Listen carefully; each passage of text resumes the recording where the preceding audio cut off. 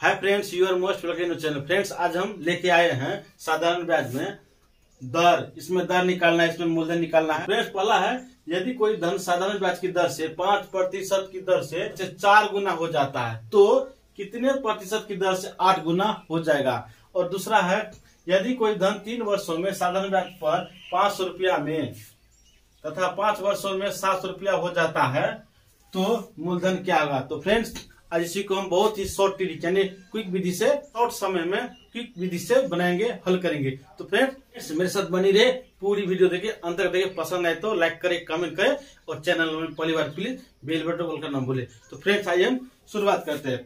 जैसे पहला यदि कोई धन, इसमें क्या माँगता है? रेट दर।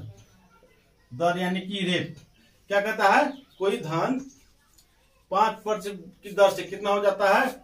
कोई धन पाँच प्रतिशत की दर से चार गुना हो जाता है। कितना हो जाता है? चार। फोर माइनस वन बटे कितना? पाँच प्रतिशत। और दूसरा रेट क्या है? आठ माइनस वन। ये रेट दोनों हो गया। इसके बराबर equal two R equal two four में से थ्री फोर माइनस वन बराबर थ्री बटे फाइव यहाँ equal two eight minus sorry seven बटे आर, सेवन बटे आर टू। इसको क्या, इसीलिए आर टू बराबर क्या होगा? सात इंटू फाइव बटे थ्री, यानी कि पाँच, सत, सात बटे पैतीस, बटे थ्री। अब इसको भागा करेंगे तो क्या तीन कम तीन तीन कम तीन बचा दो तो दो, इसी, और दो ऊपर चला थ्री नीचे। ये हो गया ग्यारह पॉइंट तो फ्रेंड्स ये होगा ग्यारह पूर्णांक दो बटे तीन प्रतिशत जो हमारा है ऑप्शन सी में यह हमारा रेट निकल गया। अब दूसरा है, यदि कोई धन तीन वर्षों में वर्षों में साधारण ब्याज पर पाँच सौ रुपया तथा पाँच वर्षों में सात सौ रुपया हो जाता है तो मूलधन क्या होगा? तो फ्रेंड्स हम क्या निकालेंगे? मूलधन। मूलधन।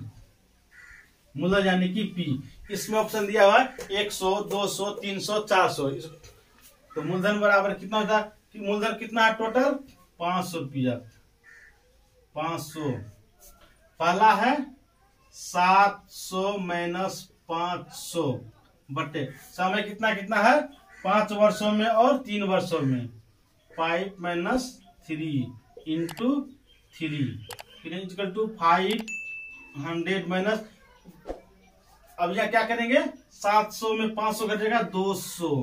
और यहाँ पाँच में फाइव माइनस थ्री बराबर टू इंटू थ्री। अब फिर बराबर क्या हो जाएगा यहाँ पर?